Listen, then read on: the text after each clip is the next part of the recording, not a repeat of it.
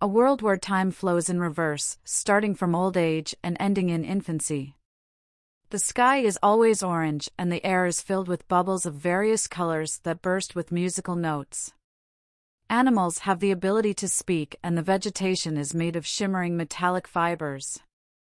The inhabitants can control gravity and fly effortlessly. They are a peaceful race who spend their days in meditation, experiencing life backwards and embracing the beauty of every moment.